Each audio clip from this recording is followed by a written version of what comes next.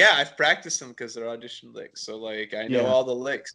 I mean, if if shit is really awkward, um, you know that's a different story. But I know, for instance, uh, tomorrow we have a concert. We're doing Beethoven's Sixth Symphony. It's like, man, I've played that like four times. Like, yeah, I, I can I can sing the violin part while I play my bass part, right? Yeah. Like, you know, I know what's happening. Like, realistically, like, I think it's true for most competent classical musicians. You could just walk in and perform it. And a lot of times, I've done gigs where I get hired and then I play an hour and a half to two hour rehearsal and then just play the whole thing that night. And you Mm. know, it's good. It's, it's it's proper. It's right. Right. So, um, like the Messiah. You know, when Christmas Yeah. time comes. I yeah, it's it's like people are like, wow, you guys must be rehearsing so much, and you just tell the poor audience member like, yeah, tons of rehearsal, man. it's like, yeah. dude, showed up this afternoon and I've played this probably 130 times in the last like four years. So no, yeah, it's just like listening, like listening to the Uh, conductor. What kind of nuance does he want from it, and then putting, you know, or like bowing to like we, well, we played- half, half the time you don't even listen to them, right? Because if it's just a local, like, I mean, you know, to be honest, if it, unless it's like a large symphony like the Phoenix Symphony, which Right. like when you work with Phoenix Symphony, you, you know, you do everything your principal tells you, and you just follow everybody. But that's part of being a great musician is you just follow whatever the crew is, right? Like Right. whatever that, even that local like church gig, you just follow everybody else. Like if everybody else is playing super vibrato, garbage, whatever, like all right, I guess that's what we're doing this is what, yeah, this is my what boat we're up to now. that. Right. So in that case, you just get called back. Um, so it's it's just you know again it's simple logic really. Um, but to answer your question, I you know I, I think a lot of my practice in bass has always been from a very highly technical standpoint. My professor here is a um, arguably I think you could put him if even if you hate him, you put him in the top three best bass double bass players in the world. Uh, he he's you know plays violin concertos on bass. Is like the only guy in the world who makes a living being a solo bass player, which is crazy. He just really likes it nice and warm. He's from from Romania, so Okay. you know once the Iron Curtain fell, he came over here, and you know Mhm. shows no desire to go back to cold Eastern Europe. um, makes it here. What can I say? I like it here too. Um, Yeah. So yeah, like highly technical focus and train. It's just very similar to triathlon training. It's like I, you know, I see so many people rack up junkyards in the pool because they think it helps. Junkyards on the bike, or junkyards, junk miles on the bike, blah blah blah. Like you know, great. I know tons of people who practice six hours a day, and I, I get more gigs than them. And it's Mhm. like, well, why? Well, there's a lot of aspects to this, just like triathlon. There's a lot of aspects. So, good, good fundamental foundations, um, and just being aware, like thinking about what you're doing, uh, will get you a lot further than just like mindlessly sitting in a room. Now, it does help that I play bass. You know, same, same with like you know bassoon players in the wind section, right? Mhm. if you're if you're a flute girl, you're a dime a dozen, right? Every every institution in the country has, you know, 200 flute applicants every year for their doctoral program. yeah, Whereas if you play, you know, walrus of a double bass, yeah, you're statistically in a lot much better situation than yeah. Or if you somebody play like the harp, you're like, oh, you're like five Right. people to play the harp. I I I always say if if I had to do it all over again, I had to pick a different instrument. I would do organ Okay. or harp. Organ, organ is very cool. Nobody plays organ, right? It's just like piano players. Like, yeah, Dima doesn't, but actually playing organ, whoa! Now you've got some weird special interest that supersedes everything, and and organ players find work like crazy. I also think it's just a cool instrument. There's only two organ builders in the entire United States, and Yeah. like, what a cool thing. Um, so yeah, I mean, to be honest, like it's it's just kind of a mess a lot of the time in terms of what I'm doing, and but I've been playing so long now. At a certain point, like most of the music that I have to deal with, I can. It's pretty much under the control, very much under Right. It's within it's within your proficiency. It's not like no, we're gonna step like Yeah. Um, I just, uh, why did I just forget his name? Wagner. Like the first time I played a Wagner piece, I was out of my mind with just all the accidentals just coming at you super fast. I was like, what is happening right now? Uh, and I'm sure I didn't even nail half of it. uh, when we got to perform. But so it, but it, you know, if I had practice, practice, practice, like get to that point, it's like I played Wagner, I can play it proficiently. Like I'm not going to worry about, you know, something in a much like like we do it for a Christmas concert where it's almost like pops, where it's like right. everything's quarter notes, half notes. You're just like, I don't need to practice this. We'll just show up. It'll be fine. yeah, I mean, at a certain point, you know, and I relate music as you probably like. I I, I consider music not even a at least for like music players like we're not really we don't we're not artists we're just mm-hmm. we're tradesmen ultimately right. music school isn't in a college academic sense i mean it is in, in, in the academic side but like what people think of as musicians it's like man we're just tradesmen ultimately at the end of the day i'm just providing a product that is similar skilled labor to that of any plumber or electrician. Now this pisses off my colleagues quite quite a lot but I, I i have a much more pragmatic analysis of what we do which is simply play the notes on the page like machines. If we do a good job we're a good machine who deserves nice rewards. If we do a bad job we're a poor machine who gets crap. So in that sense, I think it helps, especially for for many people who you know, like in the triathlon world, who aren't musicians, right? Like what I sort of just like you know, music is a trade, sort of makes sense at that point, right? So yeah, um, yeah, I think that's a large part of it. Um, but yeah, I, have had a long.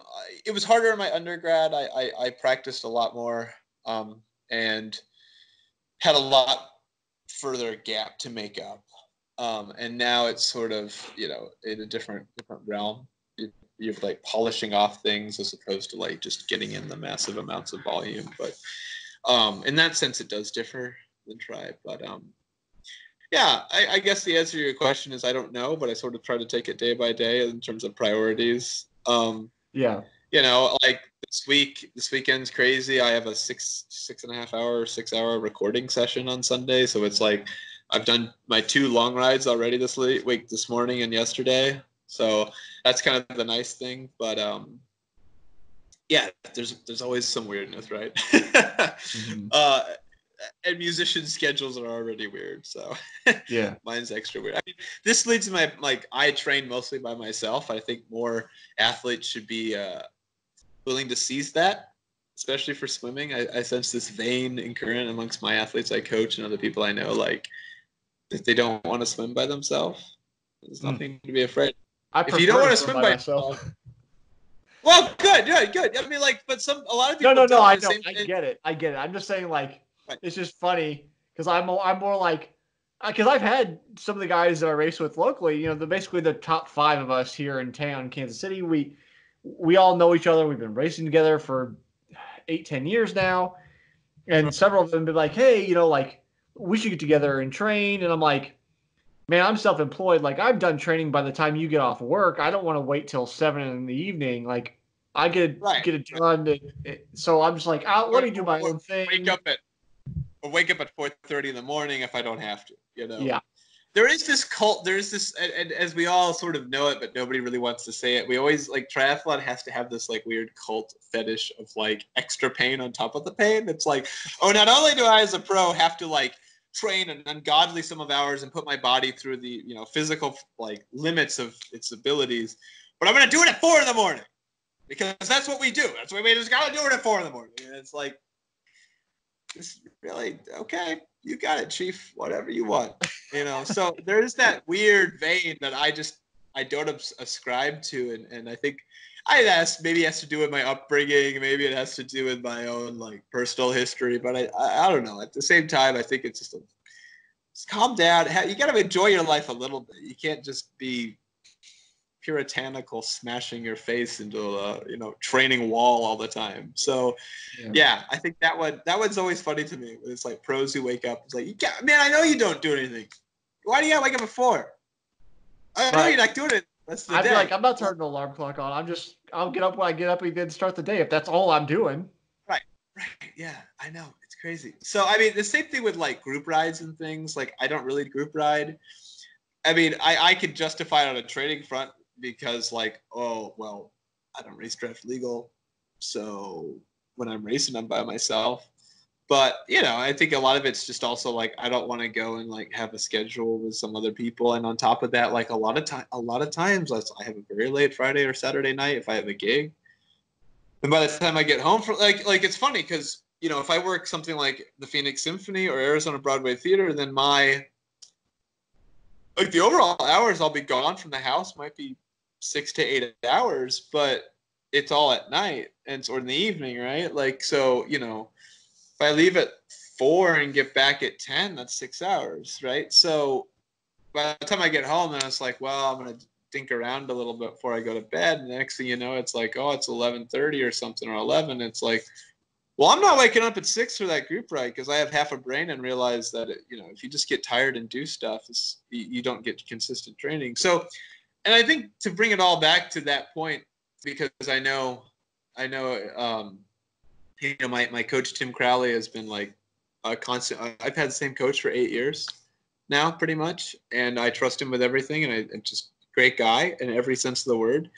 Um, and I, you know, his credential list is endless. I mean, he's he's been around for forever.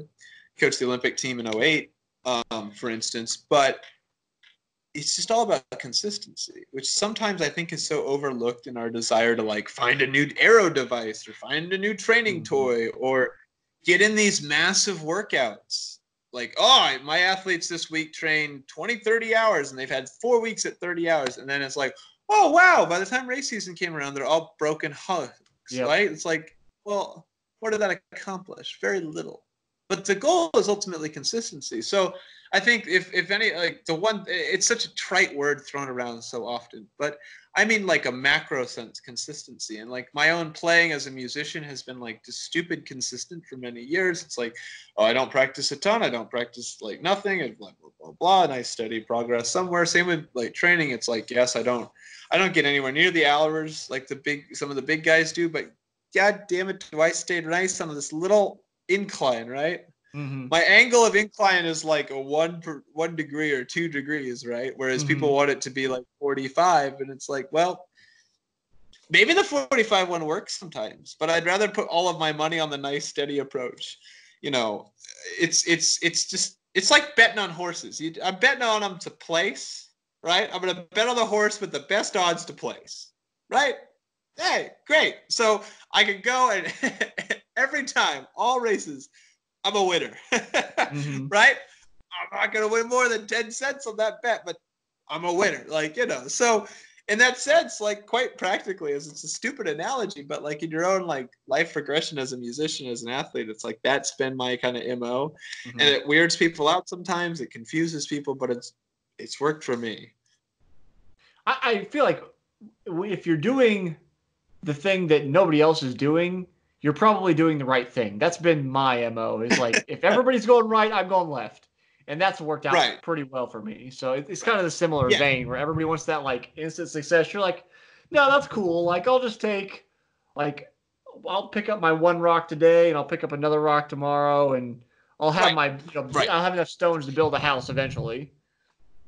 Yeah, it's and it's and on a more practical front. I think we see that in the current like uh, try industry in terms of the products and goods being pumped out there. I, you know, they're all hitting that vein of like, right now you can get three percent on your VO2 if you do this. And you're like, oh god, here we go again. It's like you know everything, everything that's old is new again. And so it's it's that I, I've been around. It's funny. I'm you know I'm not that old, but I've I've been doing triathlon now for um, almost like pretty much almost ten years. Mm-hmm. So it's funny because you start seeing the same things. It's like, oh, this was really hot in 2011, and then just blew up, and like, oh, now it's coming back, right? Like, yeah. It's like it, it's, and with Tim, who's been in it for like 35 or just 30 years now, right? Like, mm-hmm. like Tim Race, Dave Scott, and Mark Allen, mm-hmm. right? So it's just great to see that, and you just just talk about the things that it's like this makes no sense. Like we've seen this before. Like the trends just come back, and it's just it's very funny. It's very funny on like on a more materialistic note. Yeah. Like everything is, is new under the sun. It's like, come on, guys, we were doing this.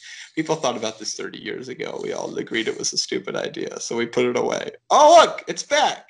You know, I could sit here and start naming things, but that's probably not good for either of our uh, potential sponsorship opportunities at any given moment. Yeah, no worries. Um, we're a little over time, but I'm going to ask anyway. We kind of been dancing around this uh, sure. our whole conversation, but there. So there's a question. Last season, I asked everybody about recovery food. Um, this year, I'm calling them seasons, but years. This year, uh, I'm asking everybody, what do you think the purpose of sport is? What do you think the purpose of sport is? Wow. Um, I'll give you a historical answer that I somewhat agree to the the the hope that we don't go kill each other. I mean, you know, what was the point of medieval tournaments, right? To to essentially right. give people an outlet for not, you know, going off and killing each other, and we're ultimately horrible, violent human beings. So.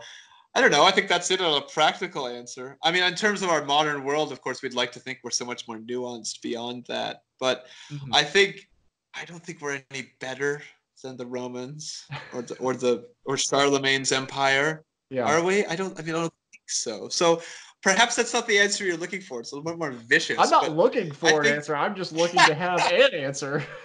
I'm sure it's different than the rest of the uh, rest of your uh, respondents. Um, no, I do genuinely believe uh, that that ultimately the point of sport is for all of us is just to quell some sort of animalistic behavior that we have.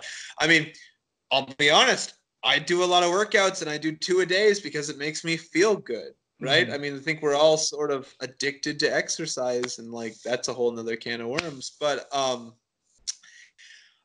there's something raw about it, right? Sports kind of keep us all in check, keep those like natural instincts sort of, you know, quelled. Um, I don't. It, it's it's kind of what we've agreed is the more civilized approach to the alternative, which is mm-hmm. which is much more rough, Sean. I mean, Helmut von Moltke. Uh, kind of the the German architect of the World War One battle plans. You know, I'm a big fan of history. If you haven't gathered, um, you know, they, that was a whole school of thought there that like you know, without war, like man's just bad. Like he just mm-hmm. can't do good things. Like it's the crucible that makes men do insane things.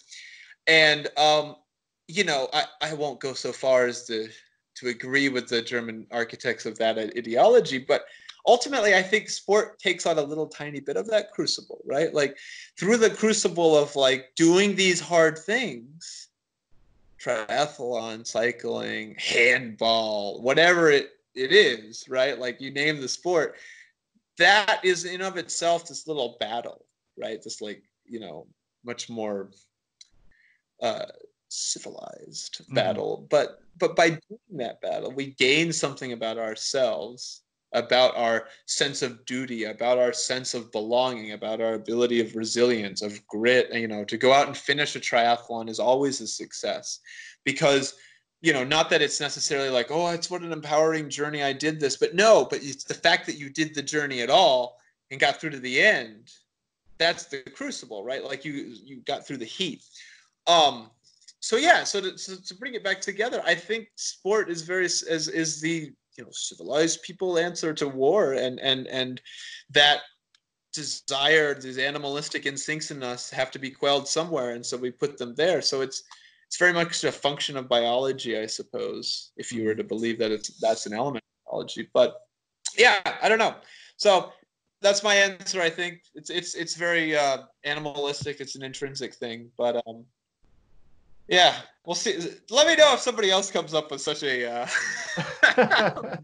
well, the, the year's just getting going. Yeah, the year's just getting right. going. So I've got a whole year's worth of people to ask this question. So we'll have to see what everybody else comes up with this year. My like the answers about the food last year was always interesting because it was like you get a divergence of two answers. You get people say like a, uh, almost PC answer like I like salad or something, and then uh, the majority of people would be like like, uh, so I'd ask, what's a, a, recovery food? If you could only choose one recovery food for the rest of your life, what do you choose?